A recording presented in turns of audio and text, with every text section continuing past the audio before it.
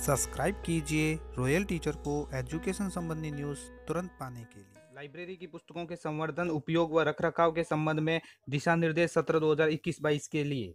जी हाँ साथियों, जैसा कि आप सभी जानते हैं कि हमारे प्रत्येक सरकारी विद्यालय में एक लाइब्रेरी की व्यवस्था होती है। पुस्तकों के रखरखाव के संबंध में नवीन दिशा निर्देश जारी कर दिए जाते हैं। पिछले सत्र में कक्षा एक से पाँच तक के विद्यालयों में भी विद्यार्थियों हेतु लाइब्रेरी के पुस्तकें वितरित कर दी गई थी। राज्य सरकार द्वारा साथ में वर्तमान सत्र इक्कीस बाईस के लिए उनके रख के संबंध में नवीन दिशा निर्देश जारी किए हैं। कोविड के चलते आपको किस प्रकार पुस्तकों का संवर्धन रख करना है उसके संबंध में नवीन दिशा निर्देश जारी किए हैं। ये है वो दिशा निर्देश राजस्थान स्कूल शिक्षा परिषद की ओर से जारी किए गए हैं, जिसमें बताया गया है कि विद्यालय में बच्चों के लिए लिए ली जाने वाली रचनात्मक गतिविधियों के क्रम में शिक्षण कार्य के अतिरिक्त लाइब्रेरी पुस्तकों से भी लाभान्वित किया जाना है। समग्र शिक्षा अंतर्गत समस्त राजकीय विद्यालयों को लाइब्रेरी पुस्तकें उपलब्ध करवाने का प्रावधान रखा गया है, क्योंकि पढ़ने से विद्यार्थियों को पाठ को समझने और व्याख्या करने जैसे मूलभूत कौशल विकसित करने में मदद मिलती है। यह भाषा और लेखन कौशल में दक्षता विकसित करने की दिशा में एक कदम है। पुस्तकें पढ़ने से छात्रों की रचनात्मकता, चिंतन तर्क शक्ति सकारात्मक सोच, लेखन, कला शब्दावली वर्धन के साथ साथ सभी को मौखिक और लिखित रूप से व्यक्त करने की क्षमता विकसित होती है।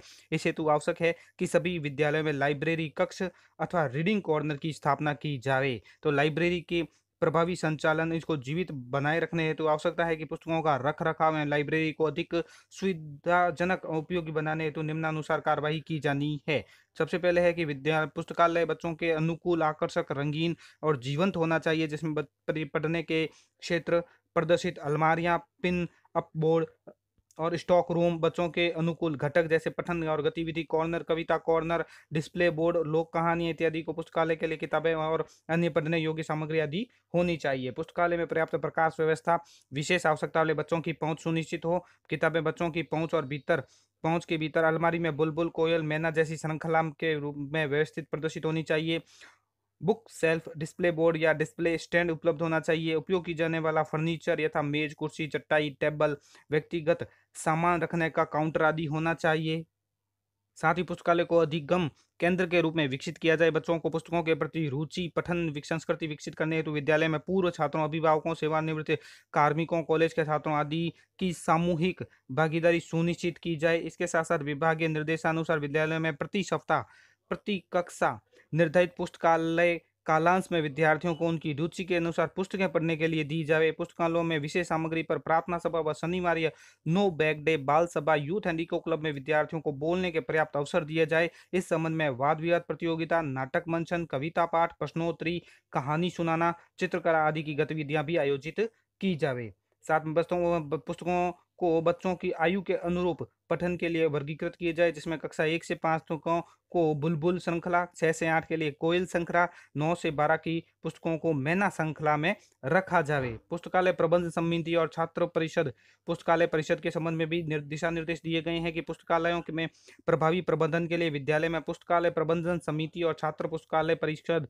का गठन किया जाए। विद्यालय स्तर पर पुस्तकालय प्रबंधन समिति के सुचारू रूप से संचालन हेतु निम्नानुसार समिति का गठन किया जाए जिसमें संस्था प्रधान, अध्यापक और लाइब्रेरी कैप्टन बनाने हेतु विभिन्न कक्षाओं से तीन से पाँच छात्र लिए जाए। प्रभावी प्रभारी पुस्तकालय अध्यक्ष या शिक्षक हो S M C S D M C का एक सदस्य भी हो। पुस्तकालय संचालन में सहायता के लिए छात्र परिषद, पुस्तकालय परिषद का गठन किया जाए। एस एल सी के सदस्य, आधारित यूथ एंड इको क्लब के प्रत्येक सदन में से कक्षा एक से आठ, नौ से बारह के लिए पृथक पृथक रूप से दो दो दो विद्यार्थियों को शामिल कर गठन किया जाए। एसएलसी के गठन में बालक बालिका के समान रूप से भागीदारी सुनिश्चित की जाए। छात्र पुस्तकालय परिषद प्रतिमा बैठक आयोजित की जाए। एसएलसी सदस्यों को पढ़ने, लिखने में सक्षम होना आवश्यक है ताकि वे पुस्तकों को चेक इन चेकआउट करने में मदद कर सके। साथ में पुस्तकालय प्रभारी, शिक्षक की नियुक्ति और पुस्तकालय संचालन के लिए जो जिम्मेदारियाँ दी गई है, वो भी है कि पुस्तकालय के नियमित प्रभावी संचालन के लिए संस्था प्रधान द्वारा लाइब्रेरियन नहीं होने की स्थिति में शिक्षकों में से प्रभारी शिक्षक की नियुक्ति की जाएगी। प्रभारी शिक्षक को पुस्तकालय की अतिरिक्त ज़िम्मेदारी दी जाएगी। निदेशालय प्रारंभिक शिक्षा बीकानेर द्वारा पुस्तकालय हेतु निर्धारित कालांश में विद्यार्थियों द्वारा पुस्तकालय का उपयोग किया जाएगा। विद्यालय में शिक्षण व्यवस्था संबंधी कालांशों में भी विद्यार्थियों को रुचिकर पुस्तकें पढ़ने के लिए उपलब्ध करवाई जाएगी। संबंधित शिक्षक द्वारा विभिन्न गतिविधियों के माध्यम से पुस्तकों के संबंध में जोड़ने का प्रयास किया जाए। एसएलसी का गठन कर विद्यालय में छात्रों को पुस्तकालय संचालन में सहयोग लिया जाए। साथ में पुस्तकें बच्चों के उपयोग से फट जाती है तो पुस्तकों की सुरक्षा के नाम पर विद्यार्थियों को पुस्तकों के उपयोग से वंचित नहीं किया जाए। बुक सेल्फ और पुस्तकों को पुस्तकों को पुस्तकालय भंडार, पंचिका पुस्तक परिग्रहण पंजिका में संधारित किया जाए। लाइब्रेरी कक्ष की पुस्तकों पत्र पत्रिकाओं का स्टॉक रजिस्टर और इशू रजिस्टर होना चाहिए। पुस्तकों के लेन देन का विवरण है वो पुस्तक निर्गम पंजिका।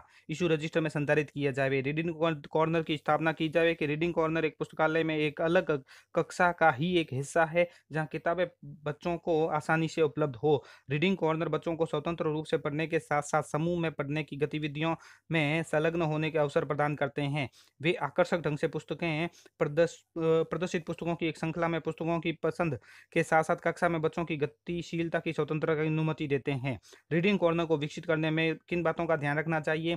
कि कक्षा में रीडिंग कॉर्नर बनाने के लिए पुस्तकों को रखने और प्रदर्शित करने के लिए जगह को चिन्हित करना, कक्षा में उपयुक्त प्रकार प्रकाश व्यवस्था के साथ पढ़ने और लिखने के लिए अनुकूल स्थान का चयन करना, पुस्तकों के विभिन्न तरीकों से प्रदर्शित करना। यदि किसी किसी सेल्फ का उपयोग किया जाता है तो शिक्षक यह सुनिश्चित करेगा कि वह बच्चों को पहुँच में हो।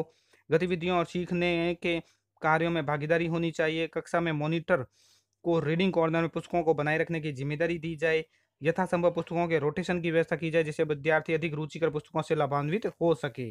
इसी प्रकार पुस्तक भंडार पंजिका का भी संधारण किया जाए, पुस्तकों की प्राप्ति भंडार पंजिका में संधारित की जाए, इसके अतिरिक्त एक विवरण पंजिका बनाई जाएगी, जिसमें तिथिवार पुस्तकों का विद्यार्थियों को हस्तांतरण, विद्यार्थीवार खातों में पुस्तकों पुस्तकों का हस्तांतरण अंकित किया जाए। पुस्तकालय प्रभारी प्रत्येक विद्यार्थी को माह में दो बार पुस्तक जारी करना सुनिश्चित करे, इसका रिकॉर्ड संचालित करे। पुस्तकों व कैटलॉग विषयवार बनाया जाए, इसकी जानकारी विद्यार्थियों को दी जाए, जिससे कि वे अपनी पसंद की विषय की पुस्तक प्राप्त कर सके। साथ में इसकी मॉनिटरिंग भी करनी है कि यू डाइस पर सूचना अपलोड करने हेतु तो विद्यालय, पुस्तकालयों की पुस्तकों का संपूर्ण रिकॉर्ड नियमित रूप से संचालित सुनिश्चित करें। संकुल प्रभारी केंद्र यानी सीआरसी ब्लॉक मुख्य शिक्षा अधिकारी, अतिरिक्त जिला परियोजना समन्वय मुख्य जिला शिक्षा अधिकारी, डाइट प्राचार्य के साथ साथ ब्लॉक व जिला स्तरीय समस्त शिक्षा अधिकारी मॉनिटरिंग सुनिश्चित करेंगे। विद्यालय अवलोकन के समय पुस्तकालय की भौतिक एवं संचालन स्थिति की समीक्षा की जाए।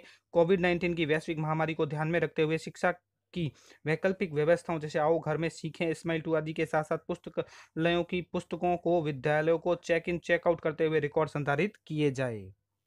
तो साथियों, ये थे पुस्तकालय के पुस्तकों के संबंधित महत्वपूर्ण दिशा निर्देश जो आज हमने आपको बताए। उम्मीद है वीडियो पसंद आई होगी। वीडियो पसंद आए तो ज़रूर लाइक शेयर और सब्सक्राइब कीजिए। पास में आने वाले घंटी के बटन को ज़रूर दबाएँ। एजुकेशन संबंधी न्यूज़ तुरंत पाने के लिए।